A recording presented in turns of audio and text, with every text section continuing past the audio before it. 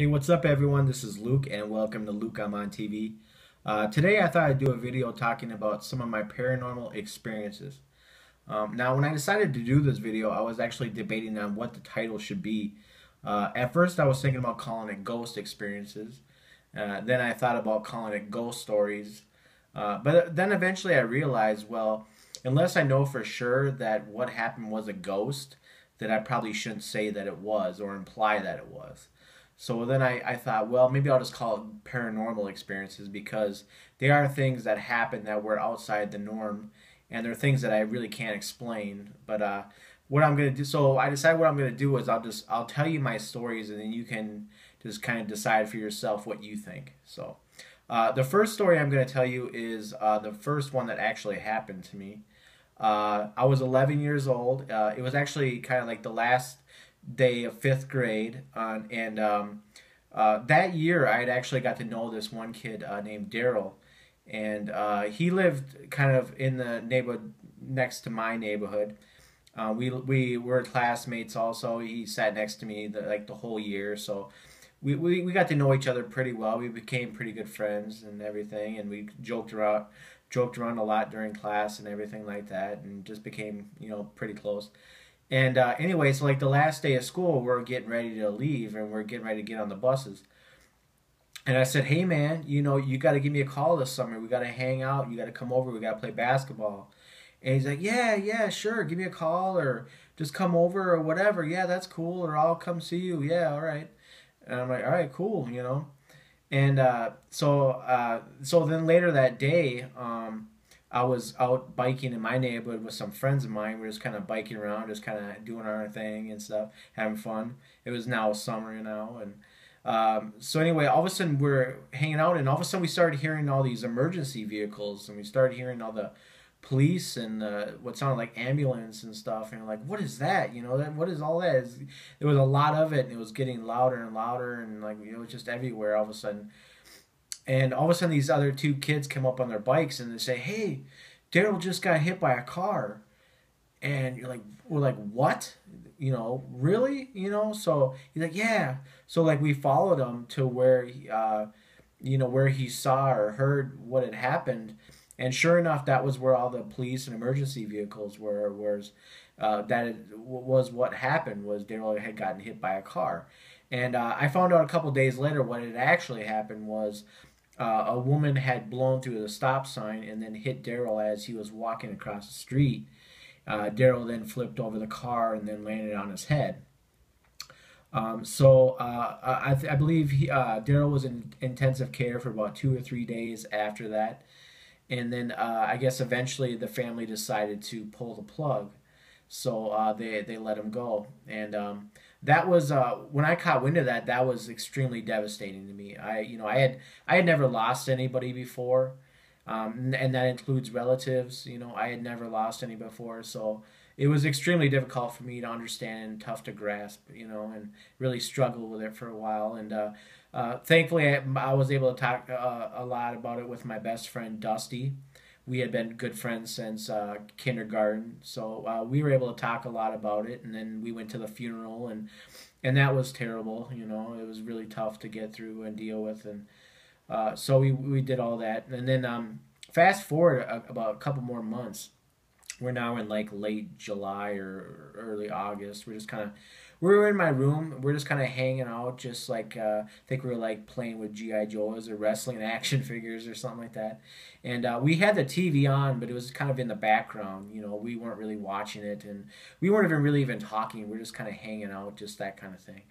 So uh, we're just kind of sitting there, and at, at this point, we had really not been talking much about Daryl anymore. Like we had talked a lot about it at first, at the beginning of the summer and after the funeral and everything. But then I think we just kind of decided to just stop talking about it so much and to, and just try to enjoy our summer, you know. So um, anyway, so we're sitting there, just not really talking, just kind of hanging out. And then all of a sudden, out of nowhere, we, we hear this very loud, clear, distinct male voice come from the television. And it just says, Daryl W. Now, when it said that, it actually said his last name, and uh, I, I, don't want to give you his last name because I, I just want to do that out of respect for the family. I just don't want to put his name out of there, so I'll just give you the initial. But it did it did say his last name. It said his full name. So what? Yeah. So like what we heard, we are just sitting there, and all of a sudden we hear Daryl W. And all of a sudden, I just went into complete shock, and I just kind of froze up.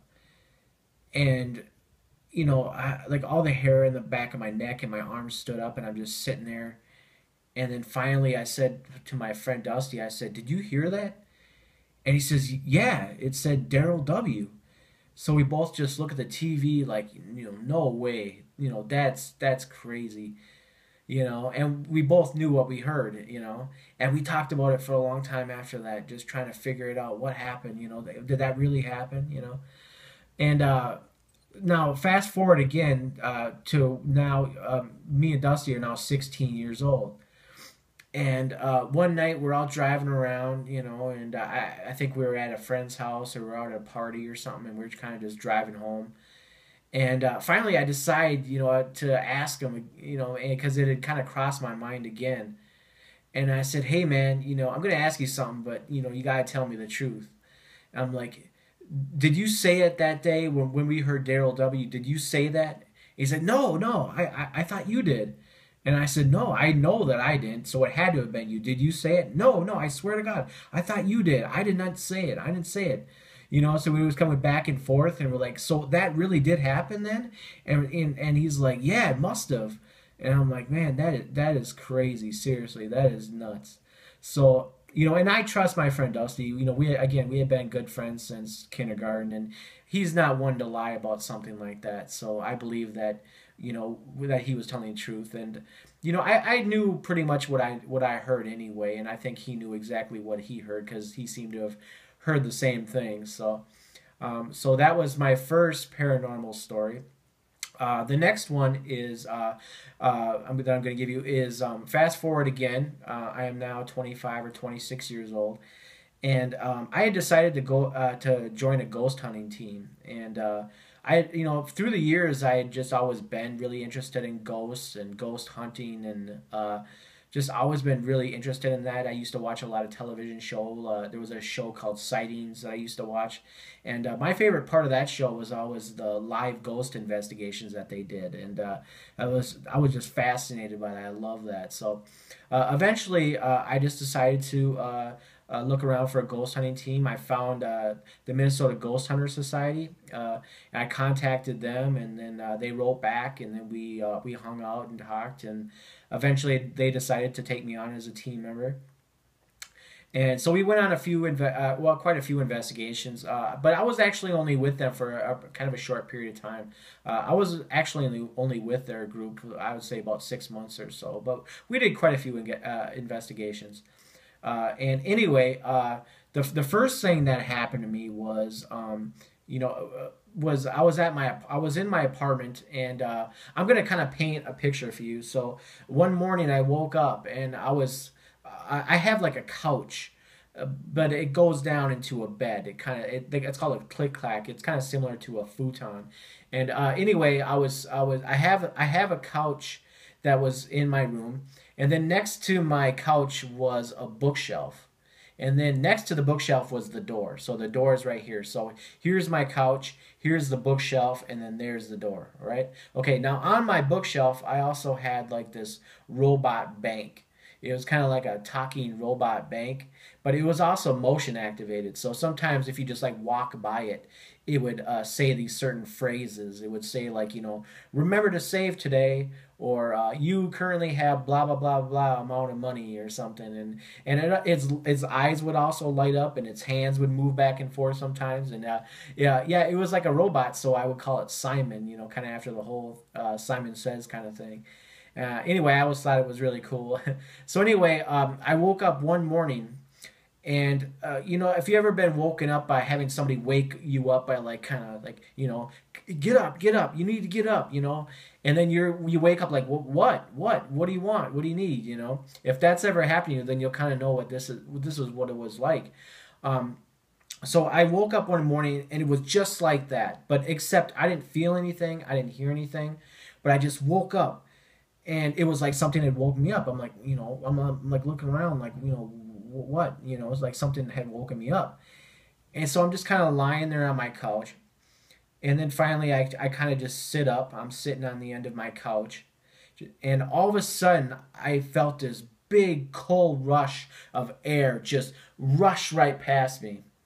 And uh, when I tell people this story, I always tell them that uh, if you can imagine what it would feel like if somebody were to get like a a, a hundred feet uh, head start or something, and then they, if they were to run right past you, right in front of you, like what that would feel like, okay? Because that's pretty much my impression of what it would feel like. You just, this big cold rush of air just brush right past me, okay? That's exactly what happens. So I'm sitting there, I get this big cold rush of air. Now here's the thing: when it rushed past me, it also went through the door, and and it went with the door with uh, with so much velocity that actually shook the door. You know, so it just it making like a vibrating noise against the door. But here's the thing, also, it set off my robot bank. Okay, so obviously something came through really quick and set it off, and then shook the door. So I mean, I mean that was pretty intense, and I don't have any explanation for that. I mean, I, I did not have a window open. Um, there was uh, like a heater vent, but that thing isn't something that's going to blow like a big cold rush of cold air. You know, I mean, uh, you know, I, I, I don't remember exactly what time of the year this was, if it was uh, summer or winter, I don't remember. But most of the time, I, I was like on the middle floor, so a lot of times we'd even have to even run like the heat, you know, really, because it would be pretty warm and stuff. And if it was in the summer, it wouldn't even been on. And the and if it were and if it was warm outside, you know, there's there's no cold air that's coming from those vents, you know. So uh, I had no explanation for what happened, and and it happened so fast and you know, when I tell people the story, that they always ask me like, "Well, weren't you scared? Did you get scared?" And I'm like, "Actually, no. Uh, those things don't really frighten me at all. I I, I actually take comfort in those things. Um, you know, I'm a big believer in the afterlife, so." Um, you know, when, when I when those when I when those things happen to me, or when I hear of things happening to other people, I just actually take comfort in that because it just gives me a kind of a confirmation that there is an afterlife. So, you know, if, if, when that when those things happen to me, my personality is like, oh, cool, do that again. You know, do, you know, and I want to communicate. I want them to communicate with me because that's that's just my personality. You know, cool, do it again. You know, that's my personality. So. Uh, anyway, so uh, that was my other story. Uh, I have one more story. it's not quite as good as that one, but it's it, it's kind of similar. Um, now, first of all, uh, a lot of people they believe that w- if you go on investigation sometimes that things can attach themselves to you and they can follow you home.